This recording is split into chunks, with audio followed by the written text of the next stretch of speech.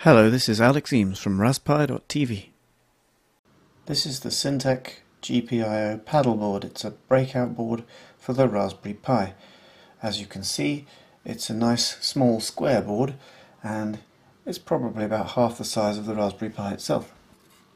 Let's put one there, you can see, yeah, it's about half the size of the Raspberry Pi itself and it's designed to connect to the GPIO header using a ribbon cable and they provide a nice multicolored rainbow ribbon cable which is 20 centimeters long. Each of the GPIO ports on the Raspberry Pi's main header connected by the ribbon cable is broken out to one of these paddle connectors and the way you connect a wire to these is quite straightforward. You have to press down the orange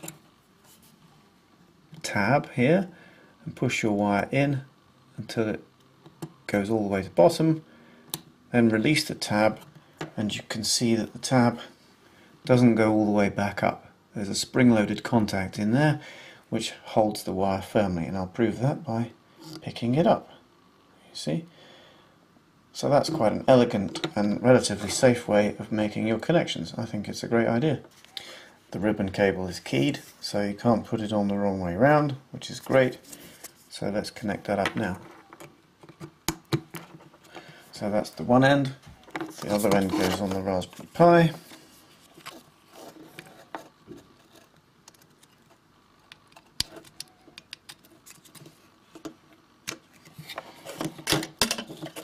And there you go. Let's zoom out and have a look at the whole thing. Here's what the whole thing looks like when it's connected. As you can see, got a decent length of ribbon cable there, which means that your electronics doesn't necessarily have to be right next to the pipe. Let's have a look at the labelling.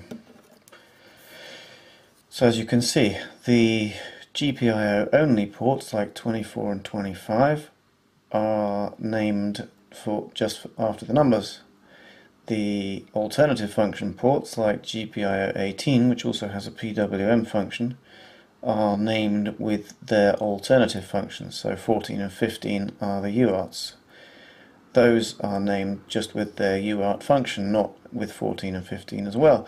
I think what I would like to see is perhaps a sticker maybe marked uh, sold with it as an optional extra that you can put on here right next to the holes where you stick the wires so that there would be no possibility of any confusion that that's that's a 5 volt connector there that's another 5 volt that's ground so if you happen to be looking from that direction for example with parallax error you from from this particular angle that we're at that looks like ground but in actual fact that's the one which is ground so unless you're right on top of it you have to be very careful I think you could make it even more foolproof if you put labels here as well. It's great to have it on the silk screen.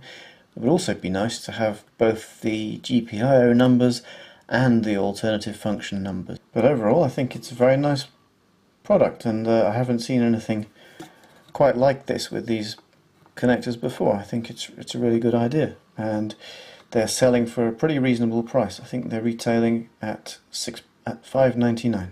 If you'd like to subscribe to the RasPi TV YouTube channel, when the video finishes, click on the i and click subscribe. This was Alex Eames for RasPi.TV. Thank you for watching.